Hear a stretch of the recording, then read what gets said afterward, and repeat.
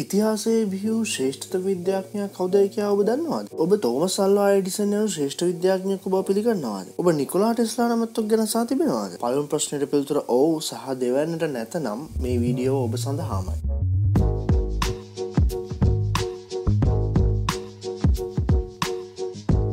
මම පෞද්ගලිකව හුඟක් ගරු කරන කෙනෙ ඒ වගේම ඔබ සෑම සියලු දෙනාම ගරු කළ යුතු කෙනෙ ඔබ දැන් ඔන්ලයින් පවාඉන්නේ ඔහුගේ නිර්මාණ නිසා නිකොලා ටෙස්ලා උපත ලැබුවේ ක්‍රේෂයාවේ සර්බියානු පවුලකයි. ඒ එදදා සටසේ පනස්සයේ ජුනි දහවනදා අකුණු ගසන මධ්‍යම රාත්‍රී ඒ නිසාම ඔහුව විදුලියෙන් උපන් දරවා ලෙසද හැඳෙන් වුණා. ඔහුගේ පියා ඔතෝඩොක්ස් පූජකයකු ඌ බැවින් ඔහුට තම පුතාවද පූජකයෝ කිරීමට අවශ්‍ය වුණා. නමුත් තම මව නිවසේ වැඩ පහසු කර ගැනීමට නිර්මාණය කළ විවිධ උපකරණ හා ක්‍රමදුටු කුඩා ටෙස්ලාට අවශ්‍ය වුණේ තාක්ෂණය ගෙන ගැනීමට. දිනක් ඔහුගේ සුරතල් බලලාගේ ලෝමවලින් හටගත් කුඩා ස්තුති විද්‍යුත් ධාරාවක් වැදුණු ටෙස්ලා තමන් විදුලිය ගැන ඉගෙනගත යුතු බව තීරණය කළා. කලක් තම උපන්බිමේ දුම්රිය සමාගමක ට්‍රොලි සම්බන්ධව සේවය කළ ටෙස්ලා තම ජීවිතයගත් සාධනීයම තීරණයක් ගන්නවා. ඒ ඇමරිකාවට සංක්‍රමණය වීමටයි. ඕ ඇමරිකාවට එන්නේ ඇඳුම් කිහිපයක් මගවියදමට මුදල් ස්වල්පයක් සහ තමාව හඳුන්නාදීමේ ලිපියක් පමණක් සහිතවයි. ඔහු සේවයට යන්නේ ඒ මහා ශ්‍රේෂ්ඨ විද්‍යාඥයා වූ තෝමස් සල්වා එඩිසන්ගේ විද්‍යාගාරයටයි එහිදී ටෙස්ලා කලක් පුරාවට බොහෝ පර්යේෂණවල නියලමින් බොහෝ නිර්මාණ කරනවා. එඩිසන් දැන සිටියේ සහ අලවි කළේ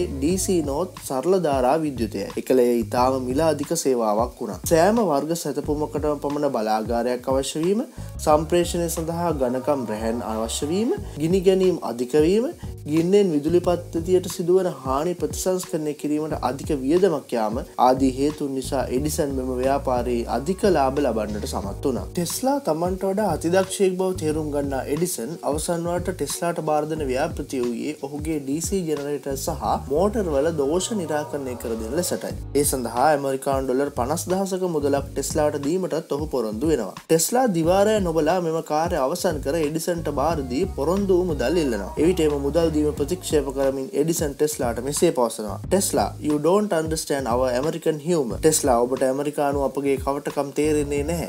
එඩිසන්සා ටෙස්ලා බිඳියාව මෙසේ ඇරඹෙනවා. නිකොලා ටෙස්ලා වෙනම විද්‍යාගාරයක් කරඹනවා මේ සඳහා මූලය අනුග්‍රහය ලබාදීමට එකක වන්නේ JP මෝගන් සහ ජෝර්ජ් වෙස්ටින් හවස් කියන සමාගම් දෙක පමණයි. දැන් තමයි නිකොලා ටෙස්ලා නියමට වැඩ පටන් ගන්නේ. ඔහු ඒසී නොහොත් ප්‍රත්‍යවාර්ත ධාරා විදුලිය ලෝට ගෙනෙන ඕලෝ ප්‍රථම ජල විදුලි බලාගාරය නයගරාදී ඇල්ලේ ඉදි කරන්නේ ජලයෙන් විදුලිය නිපදවීම පිළිබඳව කිසිදු අදහසක් ලෝකෙන නොතිබියෝගේකයි. මුළු පලාතකටම එක් බලාගාරයක් හොඳටම ප්‍රමාණවත්වීම සම්ප්‍රේෂණය හා බෙදාහැරීම සඳහා තුනීරහැන් ප්‍රමාණවත්වීම නිෂ්පාදන හා නඩත්තු ගාස්තු ඉතා අවමවීම ආදී හේතුන් නිසා අප අදටත් පාවිච්චි කන ටෙස්ලාගේ මෙම ඒසී විදුලිය එදා අතිශයෙන් ජනප්‍රිය වන්නට පටන් ගන්නේ තෝම සල්වා එඩිසන්ගේ ව්‍යාපාරවලට මරු පහරක් එල්ල කරමිනි. එඩිසන්ද නිකන් සිටියේ නැත.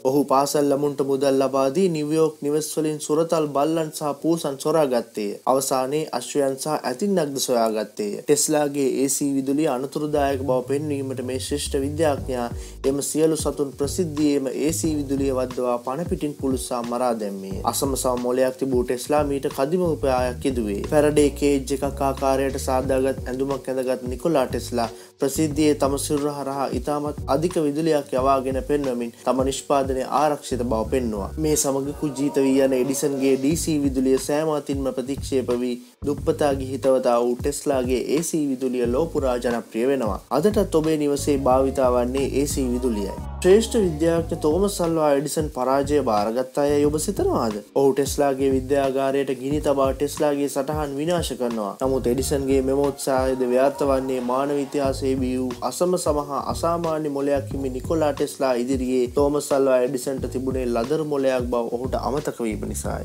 නිකොලා ටෙස්ලාට භාෂා අටක් කතා කළ හැකි විය ඉංග්‍රිෂ් ජර්මන් ෆ්‍රෙන්ච් හංගේරියන් සහ ඉටලියන් කියන්නේ ඉන් කිහිපයක් ඔහුට එක්වරක් පමණක් කියවීමෙන් පසු සම්පූර්ණ පොතක්ම නැවත ඒ අයුරින්ම ලිබේ හැකි මතකයක් තිබුණා. ඉතාම සංකීර්ණ ත්‍රිමාණ සටහනක් මොලෙන් නිර්මාණය කරගෙන කිසිදු සටහනක් නොමැතිව සීයට සීයක් අංග සම්පූර්ණව එය නිර්මාණය කළ හැකිව තිබුණා. මෙවැනි මොලයක වසරකට සටහන් ගිනි තැබීමෙන් සිදුවන හානිය ඉතාම අවම තවමයි. එඩිසන්ගේ මූල්‍ය අනුග්‍රහය යටතේ අප කවුරුත් දන්නවා ගුගලි එල්මෝ මාකෝනි රේඩියෝ සොයාගත්තා. නමුත් ඔහු සැබවින්ම කළේ ටෙස්ලාගේ සොයා ගැනීම හා පේටන් අයිතින් දා හතක් භාවිතා කරමින් ලොව ප්‍රථම ගුවන් විදුලි පණිවුඩේ යැවීමයි. ටෙස්ලා මේ ගැන මාධ්‍යවලට පිළිතුරු දුන්නේ මාකෝනි is a good fellow.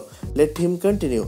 He is using 17 of my patents ලෙසයි. ඉතාම මෑතකදී දුන් නඩු තීන්දුවකින් නැවතත් ගුවන් විදුලිය සොයා ගැනීමේ ගෞරවය ටෙස්ලාට ලැබුණු නමුත් අදටත් බහුතර ලෝකයේ එය දන්නේ නැහැ. රේඩාර් සොයා ගැනීමේ ගෞරවය ලැබෙන්නේ රොබර්ට් වොට්සන් හටයි. ඒ 1935 දී. නමුත් 1917 දී පළමු ලෝක යුද්ධයේදී ඇමරිකානු නාවික හමුදාව වෙනුවෙන් මුලින්ම රේඩාර් තාක්ෂණය සොයාගන්නේ නිකොලා ටෙස්ලායි. අවාසනාවට එවකට නාවික හමුදාවේ රිසර්ච් ඇන්ඩ් ඩෙවලොප්මන්ට් අංශයේ ප්‍රධානියා වූයේ එඩිසන්. ඉතිරිය ඔබම සිතාගන්න. ටෙස්ලා තවත් ඇදහිය නොහැකි සොයා ගැනීම් රසක් සිදු කළේය. ඔහු ට්‍රාන්සිස්ටරේ සම්බන්ධ මූලික සොයා ගැනීම් නොකරන්නට ඔබ අද අන්තර්ජාලයට එන්නේද නැත. අදටත් පරීක්ෂණ මට්ටමේ ඇති ක්‍රයෝජනික් එන්ජිනේරීන් පිළිබඳව වසර සීයකට පෙර ඔහු පරීක්ෂණ කළේය. අභ්‍යාවකාශයෙන් එන ගුවන් විදුලි තරංග රෙකෝඩ් කළ ලෝ පළමු විද්‍යාඥයා මොහුය. භූමිකම්පා නිපදවිය හැකි යන්ත්‍රයේ නිර්මාණකරුද මොහුය. මෙම පරීක්ෂණ කරන විට මුළු නිවයෝක් නගරයටම භූමිකම්පාව දැනී ඇත. මෙම තාක්ෂණයෙන් කාලගුණයද පාලනය කළ හැකි අතර ලෝකයේ භයානකම ආයුධ ලෙස සැලකේ. පෘතුවයේ අනුනාද සංඛ්‍යාතය සොයාගත් විද්‍යාඥාද නිකොලා ටෙස්ලාය. මෙම අගේ නිවැරදි බව තහවුරු කර ගැනීමට පමණක් ලෝකවාසී විද්‍යාඥයන්ට තවත් වසර පණහක් ගත විය. බෝල අකුණු ඇතිවන ආකාරය තවමත් විද්‍යාඥයන්ට නිශ්චිතව කිව නොහැක. නමුත් එදදා සටසිය අනුව කාලයේදී ටෙස්ලා බෝල අකුණු නිර්මාණය කළේ. දුරස්ථ පාලකය රැහැන් රහිත සංනිවේදනය නියෝන් ලයිට් ෆලෝරසන් ලයිට් නොහොත් ටියවබ් ලයිට් AC